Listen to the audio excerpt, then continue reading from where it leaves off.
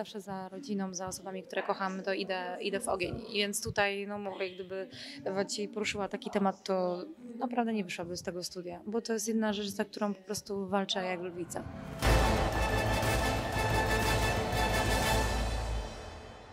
Jesteśmy po rundkach League, jest z nami Kamila Wybrańczyk, cześć. Cześć, witam. Nie mogę zacząć inaczej niż od tego, co się wydarzyło pod koniec, kiedy Ewa Brudnicka dopuściła się już rękoczynów, zaatakowała twój, twoją taką strefę osobistą, dostałaś buziaka takiego w sumie nieoczekiwanego, potem jeszcze były przepychanki, ale jednak zachowałaś spokój. Czy nie korciło cię, żeby oddać rywalce? Wiesz co, w ogóle jestem tak e, skupiona na tej walce, jak nigdy. Ja ogólnie jestem wybuchową osobą, ale staram się zachować spokój, żeby jak najwięcej wnieść dobrych rzeczy do walki, wiesz, żeby gdzieś tam właśnie ta, ta moja mm, ta moja energia mnie nie poniosła jak zwykle. Także jestem z siebie zadowolona. Jesteś skupiona, ale rywalka wytknęła ci, że strasznie się spóźniasz na treningi. Czy twoim zdaniem to się łączy, że możesz być taka w pełni oddana tej walce, ale jednak nie potrafisz na czas dotrzeć do gymu? Nie, wiesz co, moje spóźnienia to są zazwyczaj 5-10 minutowe, a chodzi to przede wszystkim o to, że w Warszawie są straszne korki, jak jeżdżę, a jeżdżę e, godzinę czasu, mam e, 38 km w jedną stronę e, na, do gymu,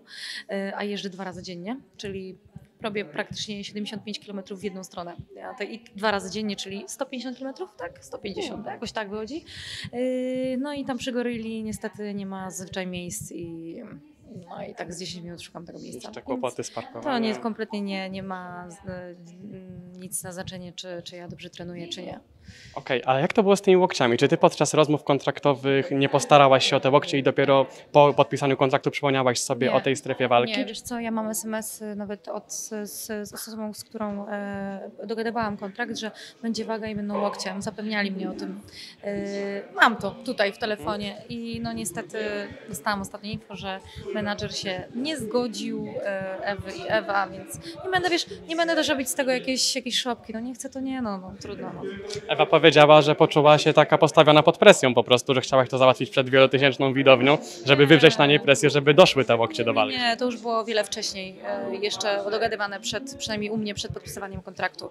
E, Tak jak mówię, no nie, wyciąg nie, nie wyciągnęłam sobie tego jakoś z palca, tylko mam, e, mam SMS-y, tak, z osobą, z którą to dogadywałam, ale jakby, no spoko, nie chcę tych łokci, to nie będzie, no będę musiała to załatwić inaczej. Y, Mówiłaś też o tym, że uważasz, że Ewa jest po prostu cringe'owa.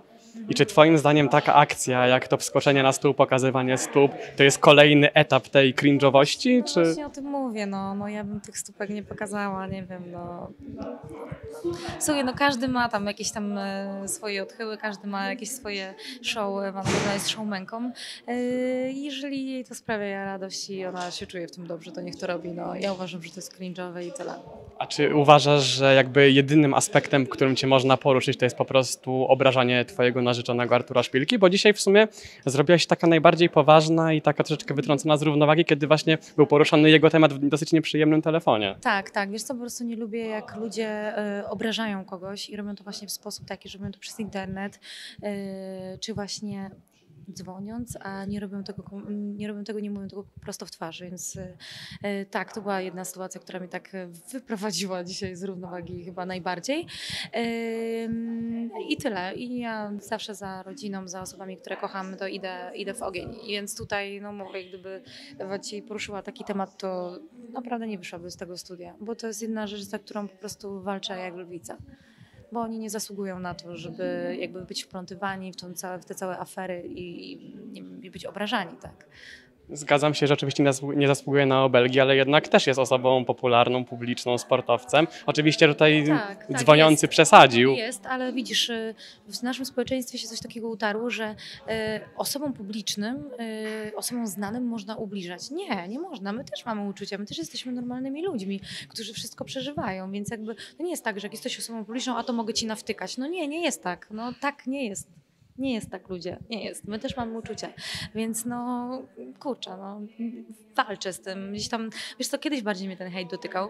Yy, Pamiętam pierwsze dwa lata z Arturem, jak byłam, jest, jesteśmy już 11 lat razem, więc to jest sporo, to, to pamiętam, że płakałam po duchem, mówiłam, kurde, dlaczego ci ludzie to robią? Ja, ja tego po prostu nie rozumiałam, wiesz. y, I teraz kompletnie mnie to nie dotyka, ale zauważyłam, że przez to, co się dzieje, ja też e, straciłam w sobie troszeczkę tej empatii. Kiedyś byłam bardziej empatycznym fantastycznym człowiekiem, a w tym momencie gdzieś tam u mnie to bardzo zanikło właśnie przez, przez ten cały hejt, przez, to- przez to, co, y, z czym musieliśmy się mierzyć. Więc Stałaś po prostu dużo bardziej taka gruboskórna, tak? Dokładnie tak, dokładnie tak. A jak w ogóle odbierasz dzisiejszy program? Bo Ewa wielokrotnie wytykała ci, że nie da się w ogóle z tobą poddymić, że są po prostu nudy, flaki z No, nudna olejem. jestem, no nudna jestem, no nie wiem, może jestem bardziej doj- dojrzała po prostu tutaj od niej. Nie, a tak naprawdę, no wiesz co, ja uważam, że jeżeli ja nie czuję tego, że ma, mogłabym do niej zadymić, to nie chcę czegoś robić na siłę. I, i tyle, bo, bo to by było sztuczne. Ludzie by widzieli, że to jest sztuczne, więc no po prostu no, no nie czułam tego I czy nie uważasz przy okazji, że ta akcja przy face to face, kiedy właśnie Ewa tak dosyć sztucznie po prostu zaczęła tam ciebie troszeczkę zaczepiać, to nie spowoduje, że teraz ty będziesz faworytką kibiców? Wiesz co, mm, nie wiem, nie mam pojęcia, to już nie mi oceniać. I czy w ogóle nie uważasz, że te kursy ekspertów, bookmacherów są troszeczkę przesa- przesadzone? Bo jednak, No nie, nie uważam, no co ty.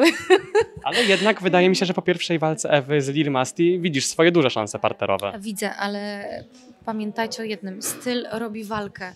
Ja nie mam y, metra 70 wzrostu jak Lil Masti, nie mam długich rąk, nie mam długich nóg. Dzisiaj stanę obok Ewy, ona ma dwa razy dłuższe ręce ode mnie, więc ja też będę musiała wykonać dwa razy więcej pracy, żeby, żeby w ogóle do niej dojść, tak? Lil Masti zrobiła jeden krok i ona już była w tych nogach, więc jakby no tutaj będę się musiała bardziej napracować, tak? Y, I zdaję sobie z tego sprawę. I fajnie, czekam. Powiem Ci, że nie mogę się doczekać, bo to jest taki sprawdzian dla mnie i bardzo, bardzo się cieszę. Bardzo chcę się sprawdzić z tak dobrą zawodniczką. I jeszcze mam takie pytanie co do tego programu, bo wiedziałem, że na Instagramie poprosiłaś fanów, żeby ci pomogli z tymi pytaniami do tak, Ewy. ale większość pytań była team Siki i po prostu już mam dosyć tych pytań o to Chociaż Siki. prosiłaś o to, żeby pominąć ten temat. Tak, dokładnie. I każdy, wiesz, każdy cały czas pytał o to, więc to bez sensu było totalnie. Albo jakieś, nie wiem, czy długo iść, czy, czy czekaj, było jedno pytanie? Czy e, mam się zapytać, poczekaj, bo żeby to było dobre. Aha. Czy długo jeszcze chcę od, od, oddychać y, przez krzywy nos? Nie wiem, coś takiego. No ale takie pytania, wiesz, no dziwne. A czy dość przekornie to nie oznacza, że jednak y, fani nie interesują się zbytnio Ewą Brodnicką, chociaż ona uważa, że jest taką troszeczkę królową? Kurczę, i wiesz, że właśnie chyba tak jest, bo naprawdę jakby ja też totalnie miałam pustkę w głowie, jakie mogłam jej pytanie zadać. Ona jest kolorową osobą, jest barwną postacią, ale jednak no, tak jakby jej życie i to, co robi, totalnie mnie nie interesuje, więc no. Najbardziej ciekawiło cię to, czy jest obecnie w związku. Tak, dokładnie tak, więc, więc wiesz, tam chodzą jakieś ploteczki. Jasne? No po prostu mam nadzieję, że w oktagonie już te pięści, nogi, bez łokci niestety, ale że to wszystko przemówi i będzie prawdziwy ogień. Dzięki wielkie za rozmowę, życzę ci powodzenia Dziękuję na Ci walce. bardzo, dzięki wielkie.